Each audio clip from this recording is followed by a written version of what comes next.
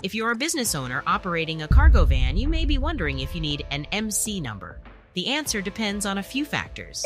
Before we get into them, please give this video a thumbs up, subscribe to our channel, and hit the bell for notifications so you can stay updated about important trucking topics. First of all, let's define what an MC number is. It's a number issued by the Federal Motor Carrier Safety Administration, otherwise known as the FMCSA. This number identifies carriers operating in interstate commerce. If you operate a cargo van solely within one state, you likely won't need an MC number as long as your cargo isn't federally regulated. You instead will only need a DOT number. However, if you're transporting any federally regulated cargo, such as hazardous materials or household goods, you will need an MC number regardless of whether you're operating in one state or across state lines.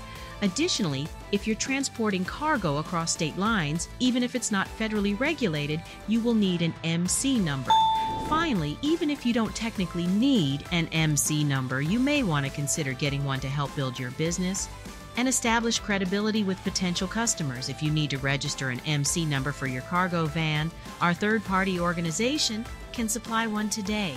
Feel free to give us a call at 866 477 0707. In summary, if you're operating a cargo van, you may or may not need an MC number depending on the type of cargo and whether you are operating across state lines. By understanding FMCSA requirements and staying compliant, you can ensure that you operate within the legal bounds and grow your business safely. Please do not forget to like this video, subscribe to our channel, hit the bell for notifications so you can stay updated about important information designed to benefit drivers and carriers.